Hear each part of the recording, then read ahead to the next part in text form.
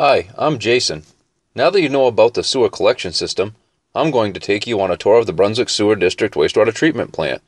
The treatment plant replicates what happens in nature, but it speeds up the process.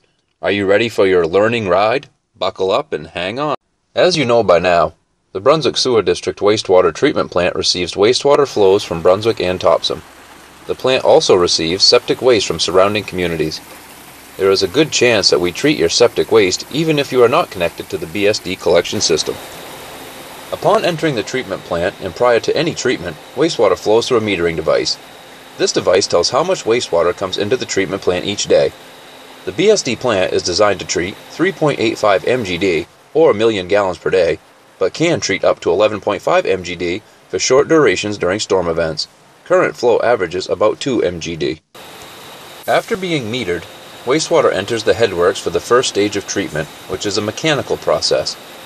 Septic waste that has been collected and trucked in from homes in Brunswick and the surrounding communities is introduced into the wastewater flow at the headworks. The wastewater then enters a grit chamber, where air is added into the wastewater to freshen up the water and begin treatment. The air helps grit and large solids settle out of the waste stream. Grit that settles in the grit chamber is removed with a clamshell bucket hoist, and the grit is disposed of at the Brunswick landfill.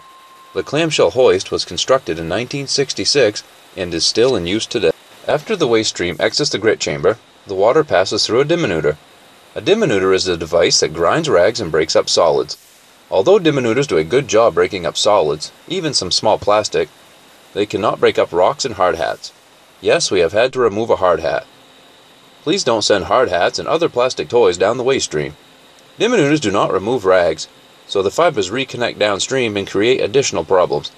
Flushing rags and baby wipes is a severe problem that drives up the cost of treatment.